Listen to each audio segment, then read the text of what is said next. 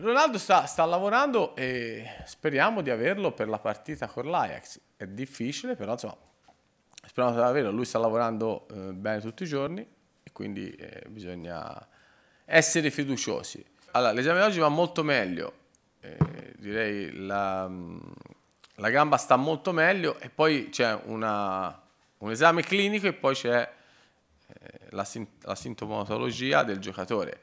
Mancano ancora 8 giorni, quanto manca? 9 giorni alla partita, quindi abbiamo ancora tempo per, per poter valutare insieme le cose. Lui si sta, sta facendo delle cose che può fare in questo momento.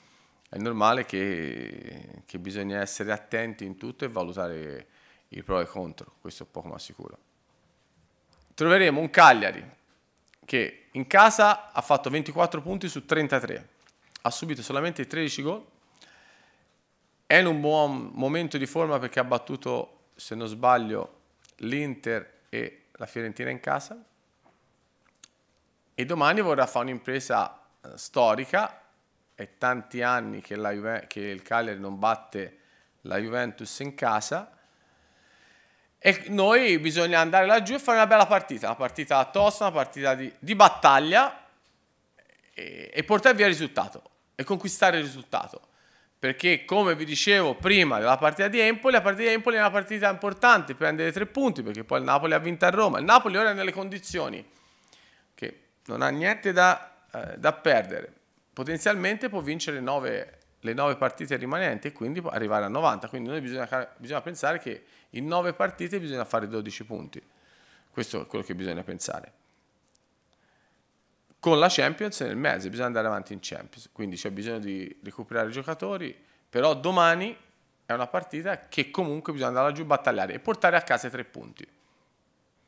Questo contro una squadra che in casa eh, si trasforma, perché fuori casa prende tre, a parte l'ultima partita a Chievo, comunque è una squadra che prende due o tre gol alla volta, fuori casa, e in casa invece ne fa tanti e ne prende pochi, perché il campo è più piccolo, perché battagliano, perché di testa eh, è una squadra forte, perché Pavoletti è un ottimo giocatore, perché ha gli esterni che crossano molto, perché danno molta intensità e quindi bisogna prepararsi e quindi anche uno stimolo per noi a fare una bella partita.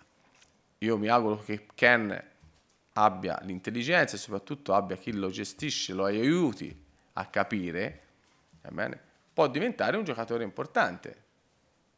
Eh, però eh, questo dipende solo da lui io dico sempre aiutati che Dio ti aiuta.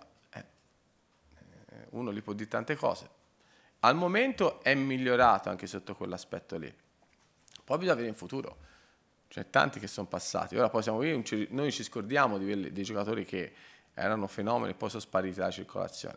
Questo, ecco perché io dico ci vuole sempre molta calma, basso profilo. Giustamente voi fate il vostro lavoro, dovete enfatizzare, dovete scrivere, eh, articoli o televisioni, giustamente, eh. però dall'altra parte c'è qualcuno che lo tiri giù, eh, perché se dopo, se no dopo bisogna, dargli, bisogna dargli a mangiare con la balestra.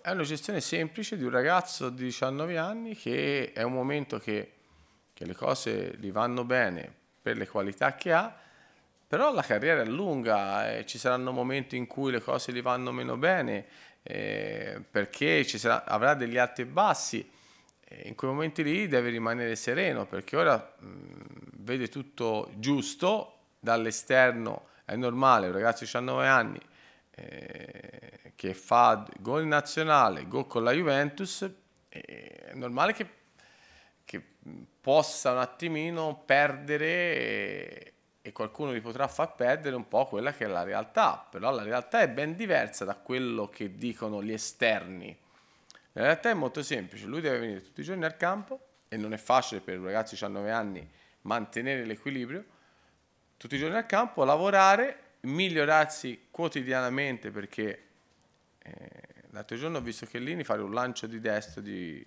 di 40 metri, eh, che Lini credo che il passaggio più vicino faceva a, a 10 metri, eh, credeva che non potesse arrivare a giocare la palla a 40 metri e invece siccome tutti i giorni si è messo lì a migliorare quei lavori lì e l'ha migliorati.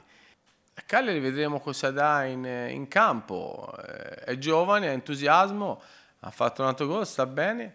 Eh, e quindi domani per lui è un bel test giocare a Cagliari in quel campo contro una squadra tosta. Eh, quindi è un bel test, è un bel test per la crescita del suo percorso. Cioè non è che se domani a Cagliari le cose non dovessero andare bene, allora Ken, Ken è quello di oggi, è quello di, di ieri, non cambia assolutamente niente. Ripeto, è un ragazzo di 19 anni che ha delle qualità importanti, che in questo momento sta facendo gol e speriamo che continui a farne per la Juventus.